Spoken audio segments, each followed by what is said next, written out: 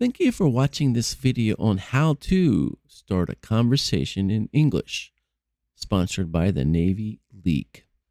Do you find yourself as a Japanese person where your English words just don't come out when you want them to?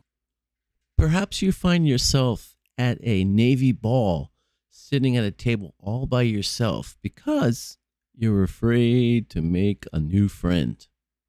Or perhaps you're only hanging out at Navy balls and Navy events with only your Japanese friends. Now, of course, there's nothing wrong with that, but today let's end that.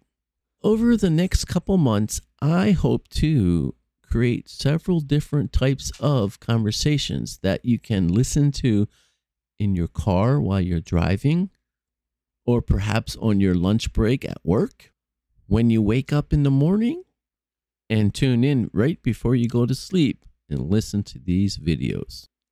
Now, this first video is at the AOB on every Tuesday.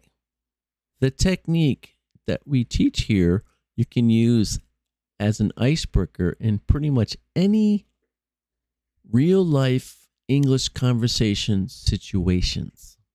Now, as the Navy likes to say, let's dive in. Welcome to Sasebo. Thank you. I'm excited to be here. By the way, we are Navy League. Do you know us? Um, I think I heard about you guys, but I'm not sure. That's okay. Where are you coming from?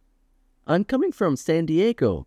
Oh, California. Yeah, California. It's a beautiful weather. Yeah. So, what do you do in the Navy? Oh, um, I'm not in the Navy. I'm a civilian. Oh, civilian. Yes, I'm a civilian. I'm the new principal at E.J. King School. I think the Navy League is perfect for you Oh, really? Why? because you can make many important Japanese and American friends.